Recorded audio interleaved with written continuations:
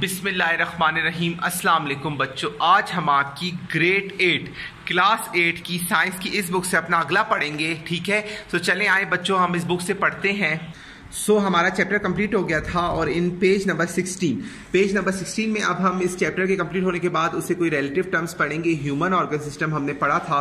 सो so, इसके की terms हैं की पॉइंट्स आप देख सकते हैं ये येलो कलर की इसमें कहते हैं बॉक्स में आपने कुछ इंपॉर्टेंट इसकी चीज़ें पढ़नी है मेरे साथ। The human the system that communicates message from one part of another part of our body is call nerve system brain spinal cord and nerves are important part of nerve system nerve system क्या है? Nerve system system एक ऐसा system है जिसमें से message transfer होता है of a body from one part to the other brains and spinal cord form the central nerve system where is the network of nerve extended to the body form of a peripheral nerve system sensory cells of neurons in a structural and function unit of a nerve system अब brain क्या है brain और spinal cord के दरमियान में communicate करता है nerve system जिसमें से मैसेज ट्रांसफ़र होता है स्पाइनल कॉर्ड की तरफ़ और सेंसरी जो सेल्स होते हैं न्यूरॉन्स से अपने क्या कहते हैं मैसेज कैरी करते हैं sensory neurons and such neurons that receive impulses from sense organ sensory neurons क्या होते हैं? ये एक के सेंस होते हैं सेंस ऑफ़ ऑर्गन है, जो क्या करते हैं? फील करते हैं किसी चीज़ को भी। फॉर एग्ज़ाम्पल मिसाल तौर पर eye ear nose and tongue and skin and send them to the central nerve system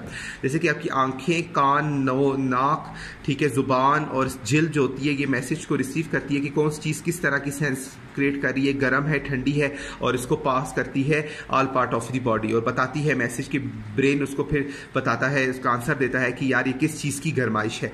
या कि, किस चीज़ की ये स्मेल है? ये हर चीज़ को ब्रेन फिर आंसर करता है।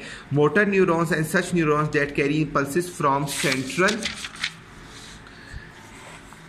nerve system of a muscles and gland motor neurons क्या करते हैं? आपके इम्पल्सिस को लेके जाते हैं मसल्स तक कि मसल्स उसको बताते हैं कि अगर कोई चीज़ अगर आपको गर्म लग रही तो आप उसको हाथ को पीछे कर लेते हो। उसके बाद है interneurons and such neurons that are present in central neuron system are provided connection between central neurons and motor neurons the body of action that perform by various throw are called voluntary action ठीक है?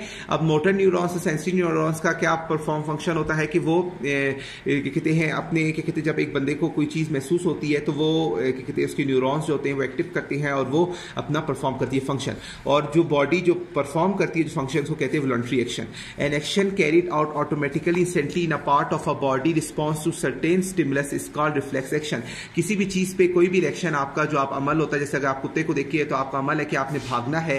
So it is called reflex action ठीक है? सो वो आपको stimulus जो होता है, वो आपको एक मैसेज देता है कि यार इस चीज़ से आपको खतरा है तो आप अपने क्या करते हो? फ़ौरन किसी गर्म चीज़ पे भी हाथ लगाते हो तो आपसे हाथ हटा लेते हो। The human excretory system consist of a two kidney and this associated organ such as ureter urinary bladder and urethra human का जो यूनरी सिस्टम है, वो किस पे कंसिस्ट करता है? किडनी पे किडनी। किडनी के थ्री पार्ट्स हैं यूरेटर अच्छा यूनरी ब्लेडर एंड यूट्रिया जिससे जो आपके हैं, क्या कहते हैं यूएन आपका पास होता है पेशाब, ठीक है? Neurons is a functional unit of a kidney in each kidney there are about of million neurons kidney के अंदर बहुत सारे लाखों किस्म के न्यूरॉन्स होते हैं, जो किडनी को फ़ंक्शन परफॉर्म करने में मदद देते हैं। When body containing waste materials reaches kidney then it materials are filtrate by kidney and send to the urinary bladder in form of urine.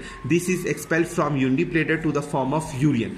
So, क्या होता है? जब जिसम का वेस्ट मटेरियल जाके किडनी पे लगता है तो किडनी उसको अलग करती है पाउस आउट करती है, और जो उसमें से वेस्ट मटेरियल होता है, उसको एक्सक्रीट कर देती है, जो खुद, जो नई यूजफुल होता है, और यूजफुल को वापस बैक कर देती है।